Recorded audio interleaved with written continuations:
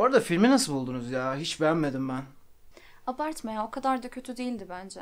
Yani yarım saatten sonrasını kıvranarak izledim. Bana birlikte izlediğimiz ve beğendiğim bir tane film söyle ya. Ya ne yapayım Can Yalgın'ın filmlerini hiç beğenmiyorum ben. Yani sırf siz seviyorsunuz diye izliyoruz. Sen hiçbir şey söylemedin. Beğendin mi filmi? Umut? Ha?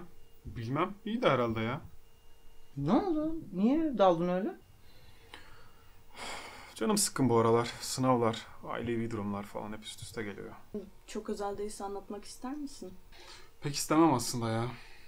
Tamam o zaman. Biz de kafanı dağıtacak başka şeyler yaparız. Ben aslında ona neyin iyi geleceğini çok iyi biliyorum da.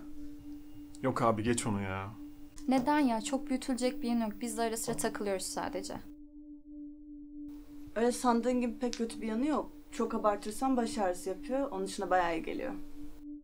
Ya böyle konuştuk ama yanında olan var mı şu an? Bu arada Umut istemiyor ne yapalım? Deneyince devamı gelir diye istemiyorum biliyorsun. Öyle bir şey yok ya. Ben çok nadir kullanıyorum. Hatta bazen aylarca kullanmadığım bile oluyor. Ya evet tamamen sana bağlı bir şey. Eğer istemiyorsan bir daha lafı bile geçmez ya. Bence bugün sana çok iyi gelir. Hem bizim yanımızda denersin. Beğenmezsen de bir daha kullanmazsın. Hadi o zaman yapıyoruz değil mi? Ne diyorsun Umut?